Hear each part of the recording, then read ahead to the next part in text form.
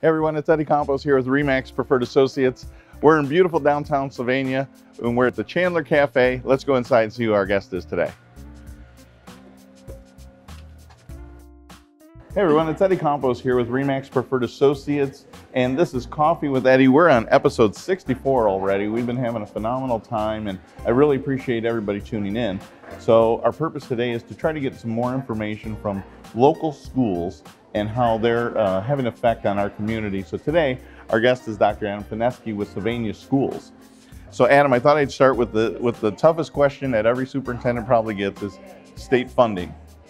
The state says you need somewhere around $6,000 for every student to effectively uh, teach them. And you get somewhere around $2,000. So how do you make up the difference and how does that affect you being able to impact the challenges that you have on a daily basis? Sure. So uh, first of all, I just want to say thanks for having me and uh, thanks for highlighting Sylvania and our community. Um, you know, state funding is a tricky subject and it's uh, a subject that's the talk of superintendents, treasurers, teachers, and parents uh, across the state of Ohio right now. Um, unfortunately, we have a state funding model uh, that truly doesn't work. It doesn't work. It's it's unfair for schools, um, in public schools especially, and that feeling is pretty mutual across the state. Uh, so what we have to do is make it work the best we can, um, knowing that cost per student that uh, schools should have uh, to meet the needs of all kids, and then how much we actually get from the state. Um, we're forced to really look tough in our own community to ask for dollars to fulfill that gap uh, that gap has to be filled because those needs are there, uh, those expectations are there by communities, um, and the dollars have to be there to fulfill those expectations. Right. So um, in, our, in our town, um, what we try to do in Sylvania here is uh, really look tough every day at our budget. Uh, we like to run an efficient and effective school district, always looking tight at you know what we're spending, what we're spending it on, how could we spend it better uh, to make sure that we can meet the needs of all of our kids. And with those growing needs, that's challenging.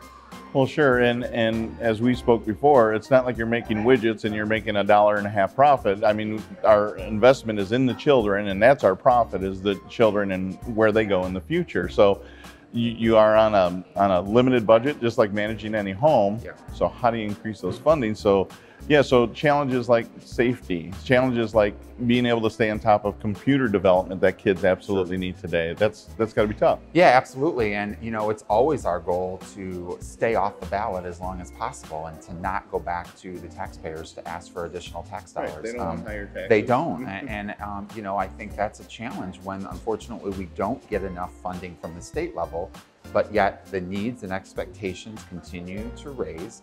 And so we have to meet those needs. And so, you know, again, our goal is always to stay off the ballot as long as we have to. Um, from time to time, we have to go back and ask for more depending on um, how the increase of needs, you know, get and, and if we need those dollars. But, you know, our district has high expectations. Um, people move to Sylvania schools for the schools.